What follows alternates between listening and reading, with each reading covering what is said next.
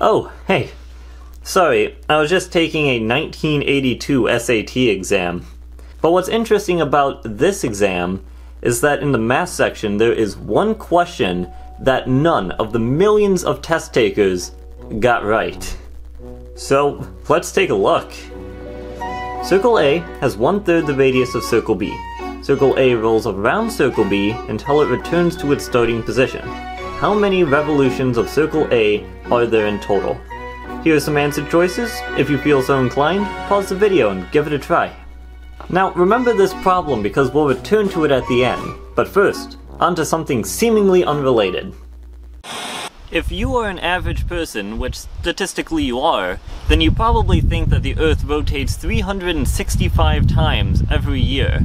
Well, I posit to you, ladies and gentlemen, that that is a lie. Because the Earth is actually flat. Because the Earth actually orbits around the Sun. Ignore the Earth's rotation for a moment and only consider its movement around the Sun. Notice the shadow on Earth forming a year-long day-night cycle? The takeaway here is that the Earth orbiting around the Sun adds an extra day to each year, evenly distributed to add 4 minutes onto every day. While a day is exactly 24 hours, the Earth itself only takes 23 hours and 56 minutes to complete one rotation around its axis. We call this a sidereal day. Well and good, but why do we care? Because when studying stars in the night sky, they are in the same position not every day, but every sidereal day.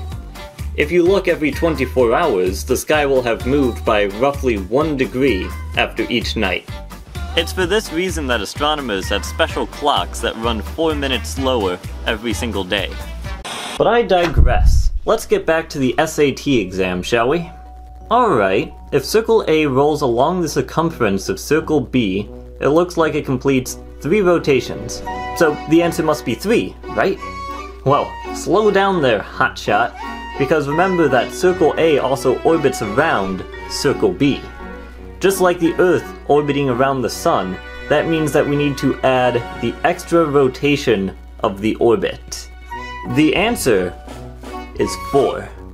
Don't believe me? Take a look at this animation.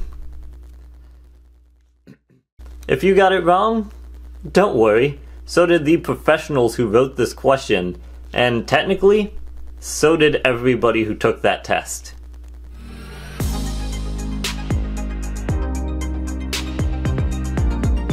Wow, two facts for the price of one. If you want to help pick next week's topic, just shout your idea into your computer screen and I'll get right on it. Until next week, stay curious.